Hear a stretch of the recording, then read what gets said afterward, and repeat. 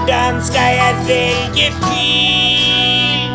Hvordan skal jeg velge fil? Nettopp ved å være privat, det er da jeg blir allmennmenneskelig. Jeg tror alle har kjent på den følelsen at livet og kjærligheten som en del av livet kanskje av og til føles som en rundkjøring. At det bare går rundt og rundt og rundt. Når jeg ikke vet hvor jeg vil.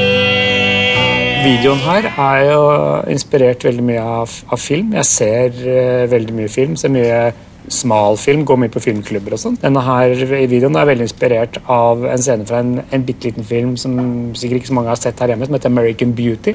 Hvor de har en utrolig fin sånn sekvens hvor det, hvor det regner roser. Så det har vært spennende å gjenskape den. Kjærligheten er jo veldig forbundet med roser. Rosen er jo kjærlighetens blomst. Og hvis man kan bruke det som en utrolig sterk symbolikk, så tror jeg at folk lettere åpner seg for budskapet i låta. Altså. For kjærligheten kommer ikke som rundkjøringa med færre skilter. Jeg er helt 100% kompromissløs på, på det kunstneriske. Og jeg ville aldri gått med på regissørens krav om nakenhet, hvis ikke det var begrunnet i at det er nødvendig for å få fram det kunstneriske.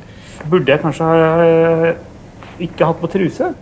På overflaten så er det en veldig poetisk skildring av kjærligheten.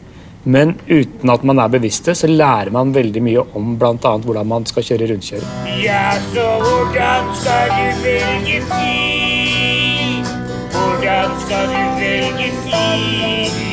Hvis man er i et forhold, så har man godt av å, å se på det. Er dette forholdet egentlig en landevei som fører til noe? Eller er det en rundkjøring hvor vi er fast og vi bare kjører etter hverandre rundt og rundt? Og Da er det på tide kanskje å ta et nytt filvalg og, og kjøre ut av den rundkjøringen. Og så vil det kanskje være noen kilometer lenger nede, så vil det være en ny rundkjøring. Og så kan man kanskje ta noen runder der, da. Men akkurat som i ei rundkjøring kan det gå trillende rundt for deg når du blir råka av mors piler. Dette er leveregler som jeg, etter at jeg har lagd sangen, har inkorporert både i mitt eget kjærlighetsliv og bilkjøringa.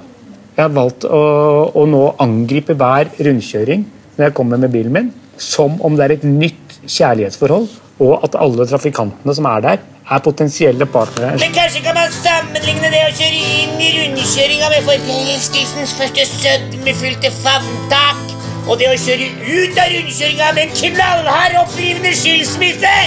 Da blir sammenligninga relevant, ikke sant?